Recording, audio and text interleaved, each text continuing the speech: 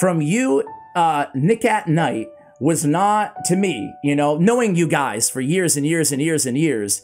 It wasn't just Yeah. a collaborator who made awesome content. That's not how I looked at it at all, you guys, you know? Right. Uh, I looked at it as you guys were. It felt like kind of soulmatey type thing in a in a in a in a like friendship way because you guys were like thick as thieves. You always on every trip you were always together. When I remember a couple times having chats with you without without Nick around back in the day, and uh-huh. I, I remember being like, "Wow, this is a great like one on one." I never get a one on one with Mo, you know, because you guys were always like had just such a strong friendship, and you were best friends outside of the game, and Yeah. you you know best man at, at weddings.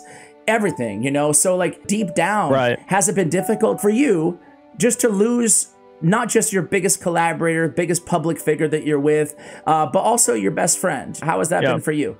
Um, I mean, with time, it's gotten easier. You know, the saying is "time heals all wounds." Sure. Um, it, I think it's clear that both of us, um, Nick and I, have been wounded from this experience.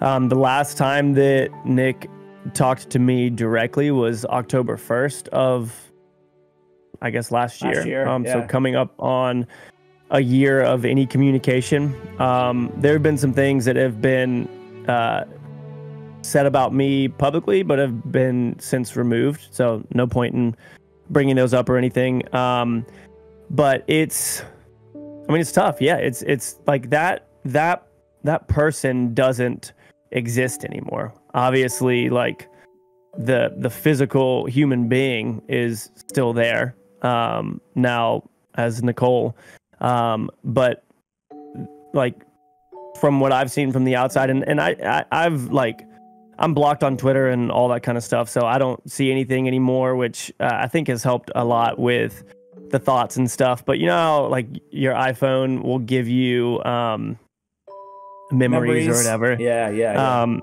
two days ago, uh, the memory was of pictures of Nick and I, and man, it, like it was, it, it it was tough. Like looking at all of those and um, just being like uh, that, like that that relationship is gone, that person is gone. Um, in regards to like when I when I say that that person is gone, I'm meaning like the interests. Like it's tough. like new games will will come out that I that NickatNyte would have loved, and when I'm playing them, I'm like, oh, and then I immediately am like, oh, I'm, not gonna send that. Like Nicole doesn't doesn't play games. It doesn't seem like Yeah, that's yeah, what I yeah. mean when I say that person is gone. Like the interests are gone, the uh, mannerisms, the uh, the sound of the voice, like everything is different. That person doesn't exist anymore. So it's tough. It's it's yeah, it's tough. I mean, it's like losing losing a friend um, in a very very deep sense of not just growing apart or anything like that. Because there was some hurtful stuff said um, that almost made me feel like was the effort that I put into this relationship for two years during the beginning of COVID, like, is that meaningless? Um, and so there was just a lot of like kind of self talk toward towards myself that um, led me into a very frustrating place of because like I have lots of texts that were slept on. Like the first one was I, I believe that the first time that Nicole went to went out publicly um, as um, as Nicole was to TwitchCon, and um, I texted after TwitchCon and and said, "Hey, like how how was TwitchCon? Like how was that? Because I know that that was probably tough." And no response, like anything. Um, and so it was tough to be like, "I'm trying. I know that we don't see eye to eye on this. I'm trying." And I wasn't met with anything. And so that's when I was just like, okay, like my my door is always open if you want to talk. Um, but it doesn't seem like now um, that's even close to being the case. And so I'm waiting. And if nothing ever happens, then I'm grateful for uh, the memories and, and hope Nicole all, all the best in, in the future. Like I don't, I, I never want to wish ill on anybody, Yeah. even if our viewpoints are different or anything like that. Um, but yeah, over the last year or so, it's, it's gotten a lot easier to process through that because there have been many days of just emotional wreckage, me bawling my eyes out and like going on walks and like talking to Rachel and just being like, broken. Um, but you get put back together, and I, am I'm, I'm in a I'm in a good spot with it now. So.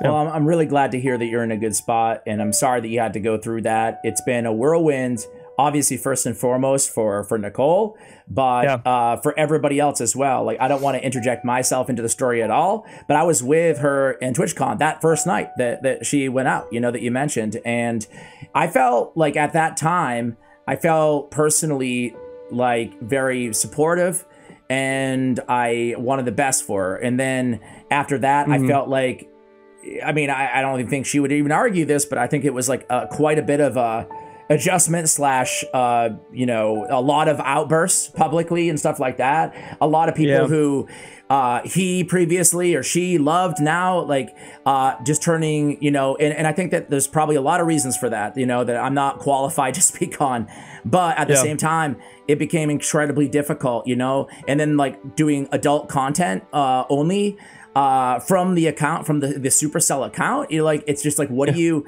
how do you engage? Like, how do you even engage anymore? And it's, it's tough because I was nowhere near as close with NickatNyte as you were, obviously, but it was also heartbreaking yeah. in my own way because I initially I just wanted the best and I wanted to support and you know it's it's challenging. It's really challenging. I'm not trying to be, you know, it's a challenging topic to even because it's so you feel like you're always so eggshells about it, but you also want to be real, you know? Man, it's wild still getting comments and being like, yo, I used to watch you in 2015 in middle school and I'm about to mm-hmm. graduate college or yep. whatever it is. Yep. Yep. Um, and it's, it's, it's nuts to think that that I was able to have an impact on people. And honestly, that's one of the reasons why I haven't deleted any of the videos with, with Nick and I'm not going to. Um, I don't think that that's fair to all of the people that gained a part of I don't want to say a part of themselves, but gained something from